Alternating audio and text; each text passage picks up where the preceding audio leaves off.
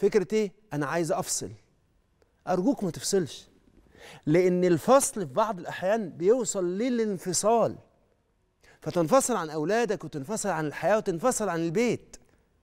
فأنت مش بتفصل أنت بتنفصل. أنت قول أنا عايز أرتاح. فالراحة مش عدم العمل لكن الراحة يا سيدي هو العمل السعيد. وعشان كده ممكن ينعزل بره البيت كمان. يقضي يقضي اليوم كله بره حتى بعد الشغل ويجي على النوم بس. وده بيبقى البيت عنده بالنسبة له هو فندق بيبات فيه. يبقى عندي بيت وبات بره فبيجي يبات في البيت. لكن هو إيه اللي حاصل؟ لو طال يقعد بره هيقعد بره طول الوقت. ليه مش عايز دوشة ومش عايز كذا؟ فالعزلة دي بتوصل للأولاد. أنا دايما أقول كده إن العزلة من أعدى الأمراض الاجتماعية. العزلة معدية جدا. والعزلة تصنع ما يسمى بالكآبة الاجتماعية. فالعزلة لما تزيد وتكون أسلوب حياة بتخلي المناعة الأسرية ضعيفة جدا. وأي يعني أي خلاف بيولع البيت. أي نقاش يحرق الغيط. والأسرة بتتعرض وخاصة الأولاد لمجموعة من السموم. حضرة النبي صلى الله عليه وسلم علمنا إن التقارب عافية إن التقارب صمود إن التقارب عمود من أعمدة البيوت.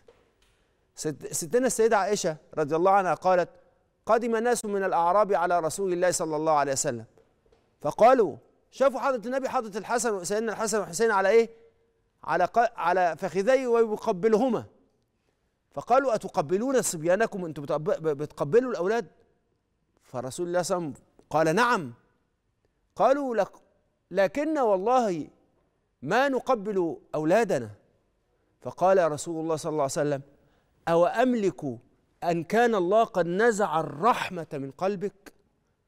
حضرة النبي علمنا إن التقارب من الاولاد والحنية إيه اللي حاصل؟ أنا دايما أقول كده الحنية أحد أهم الواجبات الزوجية.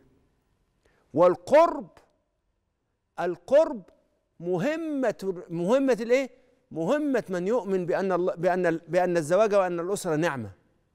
اللي مؤمن بأن الزواج والأسرة نعمة مهمته الأساسية القرب. لازم أبقى قريب. وليس معنى قريب إن أنا أبقى خنيق لكن أنا لازم أبقى قريب من أولادي لأن القرب من أولادي ساعة ما بتجي لهم بيجي لهم الشر بيلاقوني وأنا قريب منهم إيه اللي حاصل؟ بيحسوا إن هم في حصن. تخيل. حتى لو ما عملتش حاجة. فما تبعدوش أولادكم عنكم وما تخلوش أولادكم ينزووا ويبعدوا عنكم. مش معنى كده إن انت تكبسوا على نفسهم. فكروا. فكروا لأن في الحقيقة أنا بقول لحضراتكم خمس حاجات مصايب عندنا إحنا معتبرين إن إحنا نقدر نعملها بالفطرة وده مش حقيقي. ده مش حقيقي. حضرة النبي قال من استطاع منكم الباءة فليتزوج. ده أول مدخل على الجواز فأول حاجة الجواز لا يكون بالفطرة الجواز يكون بالتأهيل. طب إذا كان الجواز بيكون بالتأهيل طب والأبوة بالتأهيل برضه. طب والأمومة بالتأهيل برضه. طب والشغل بالتأهيل. العبودية كمان بالتأهيل. إحنا كل الخمسه دول بنعتبرهم إن إحنا ممكن نعملهم من غير تأهيل. فالأب دخل على الأبوة من غير تأهيل. الأهل هيقولوا يا مولانا ما طول الوقت قلقانين على قافلين على نفسهم الباب وإحنا قلقانين عليهم إن هم يكونوا بيعملوا حاجة وهم قاعدين مع التليفونات مش بيقعدوا يتكلموا معانا. إحنا قلقانين عليهم صحيح. بس لما بندخل عليهم أو نتكلم معاهم بيبقوا مش عايزين يسمعونا ومش عايزين يتكلموا معانا. أيوه أنت ما تأهلتش إزاي تقدر تدخل في عالمه وتقدر تدخله في عالمك. بس هما في الحقيقة محتاجين يسمعوكم على فكرة. بس يسمعوا إيه؟ يسمعوكم بس مش يكون أول سماع بيسمعوه منكم اللوم والانتقاد والشكوى. هيسمعوكم ليه؟ أنت مش حالق شعرك ليه؟ أنت بتتكلم كده ليه؟ أنت كل ما تتكلم تقول كلام كده إيه لغة الشوارع اللي أنت بتتكلم بيها دي؟ فيسمعوكم بس لما نتكلم بالراحة بشويش. لما ناخدهم على قلوبنا مش لما ناخدهم على الخوفنا. طول ما إحنا بناخد كلام أولادنا على خوفنا طول ما إحنا مش هنقدر نتكلم معاهم.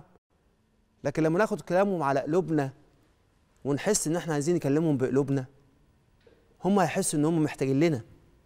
هم محتاجين ليكم زي ما أنتم محتاجين ليهم على فكرة. محتاجين لنظرتكم.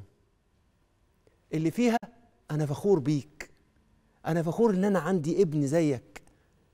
أنا سعيد إن أنا عندي بنت زيك في هذا الجمال في الخلق وفي الجمال. هم محتاجين لطبطبة عشان يقووا مناعتهم وخليهم ينطقوا بأحسن الكلام. شوف حضرة النبي صلى الله عليه وسلم بيعمل إيه مع السيدة. ما حضرة النبي قدم لنا نموذجين. نموذج لتربية الأولاد ونموذج لتربية البنات؟ طب الأولاد توفوا. هنشوف حضرة النبي ربى أولاده إزاي. السيدة فاطمة بنته كانت لما تيجي رسول الله صلى الله عليه وسلم عندما يستقبلها يقبلها بين عينيه. يا الله على الجمال والحلاوة. ولما تيجي تقعد يروح فرش لها بردته وكأنها بيقول لها ما تقعديش غير على ما لاصق جسدي يا بضعتي كده. تخيل كده وهي قاعدة في وسط الصحابة والناس شايفينها. إيه ده؟ أم أبيها.